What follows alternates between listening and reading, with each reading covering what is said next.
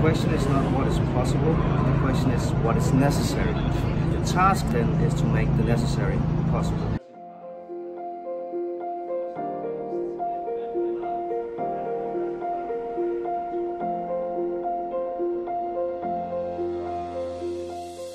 Well, the most important goal is to create awareness that the, the, new government in Denmark is now really setting very, very ambitious targets.